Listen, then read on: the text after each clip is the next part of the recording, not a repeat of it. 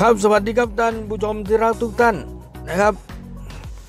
หลังจากห่างหายไปนานนะครับ เจชนาทิพย์สงกสินซึ่งเจ็บขาซ้ายนะครับกล้ามเนื้อฉีกโดยแพทย์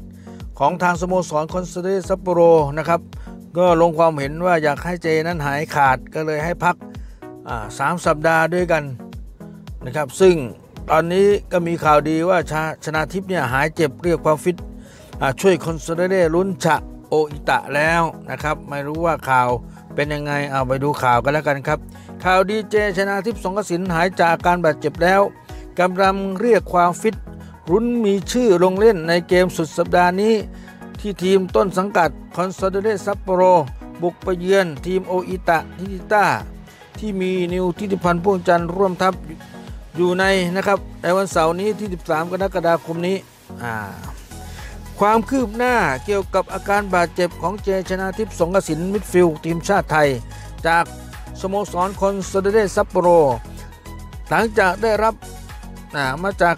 เกมที่ลงช่วยทีมต้นสังกัดในการแข่งขันฟุตบอลเจลีกนัดที่ 18 เมื่อวันที่ 22 มิถุนายน 62 นะครับผ่านมาเนี่ย ซึ่งคอนโซเดเรซัปโปโรนะครับเอาชนะมัตสุโมโตะยามางะ 3 ประตูต่อ 1 โดยทางแพทย์ ให้พักประมาณ 3 สัปดาห์ นั้นเนี่ย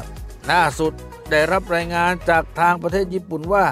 อาการบาดเจ็บของชนาทิพย์สงกสินที่กล้ามเนื้อต้นขาซ้ายเนี่ยและเนื้อเยื่อข้างในฉีกขาดทำให้แผลกำเริบขึ้นมานั้น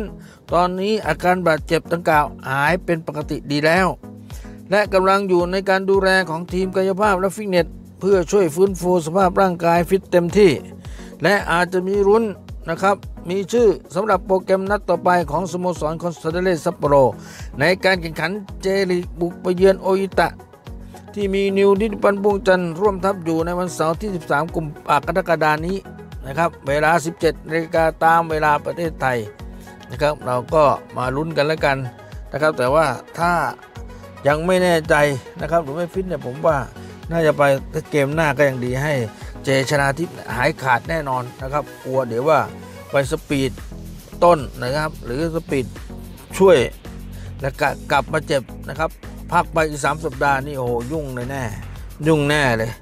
นะครับ เพราะฉะนั้นเนี่ยอยากจะให้ฟิตจริง ๆ แล้วก็ให้กล้ามเนื้อต้นขานี่มันหายจริง ๆนะครับ เพราะว่าเจนเดี๋ยวจะลงไปแล้วมันทำไม่ได้เต็มร้อยนะครับ อาจจะต้องถูกโดนว่าโดนด่าโดนด่าโดนผ้าอีกนะครับ เพราะฉะนั้นก็นะแล้วแต่โค้ชแล้วกันอ่า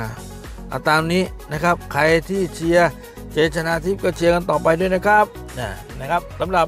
วันนี้ก็คงจะจบไปเพียงเท่านี้นะครับ ชอบกดไลค์กดแชร์กดติดตามกันต่อไปด้วยนะครับ สวัสดีครับ